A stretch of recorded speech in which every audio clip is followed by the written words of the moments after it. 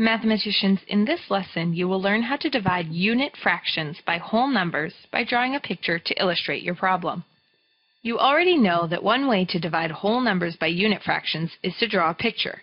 For example, if you have six apples and each person gets one half of an apple, you know that to figure out how many people can have apples, you will split your apples in half to show each person getting half of an apple.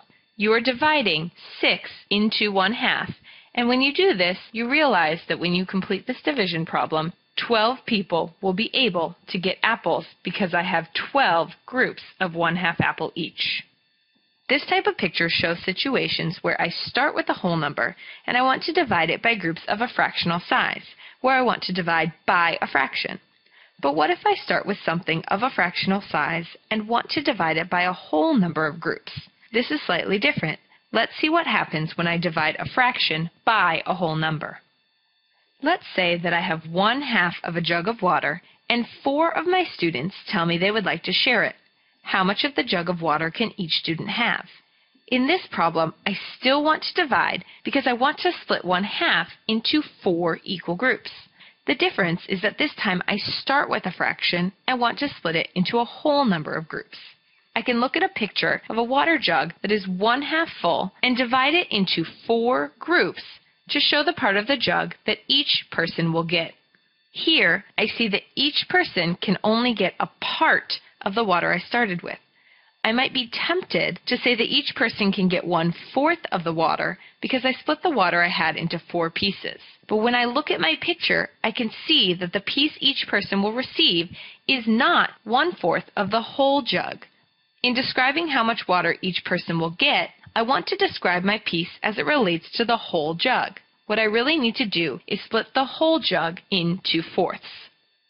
Now, I can see that when I take one half of a jug of water and split it into four groups, each person can get one out of eight total pieces in the jug. Each person can get one eighth of the jug. When I divided one half into four groups, I see that each person gets one-eighth of a jug of water. Let's try this in a problem. A popcorn store donates its boxes of popcorn for use as prizes at a team competition. How much popcorn does each team member get if a two-person team shares a one-third pound box? Here, I'm starting with a one-third pound box, and I want to share it among two people, or I want to split it in two groups. I am splitting one third into two groups, or I'm dividing one third by two. I can think of a one pound box of popcorn where one third of it is full since the box of popcorn I have is only one third of a pound. And then I can split the box into two groups since I want to share it among two people. When I do this, I see that each person will get one part of the box of popcorn where the pound is now split into one, two, three, four, five, six pieces. When one third of a pound is split among two people, each person gets one sixth of a pound of popcorn. Notice here that my whole in this picture is one pound. The original box of popcorn is only part of a pound, so when I describe it, I have to look at it as a fraction. Let's try one more just to make sure we've got it.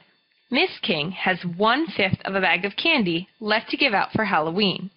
If three kids come trick-or-treating to her house, how much of the bag can she give to each child? I notice that Miss King has one-fifth of a bag of candy. My whole in this problem is an entire bag, so Miss King has only a part of a whole in her possession. She starts with one-fifth and wants to split this into three groups to give to three kids. She wants to divide one-fifth by three. Again, I can look at an illustration of one-fifth and split it into three equal groups to see how much candy each child will get.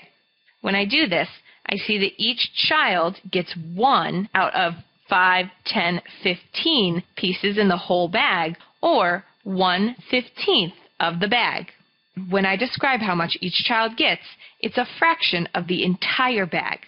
I see from this picture that one-fifth divided by 3 or divided into three groups gives me 1 out of 15 pieces in the whole. You just learned how to divide unit fractions by whole numbers by drawing a picture to illustrate the problem.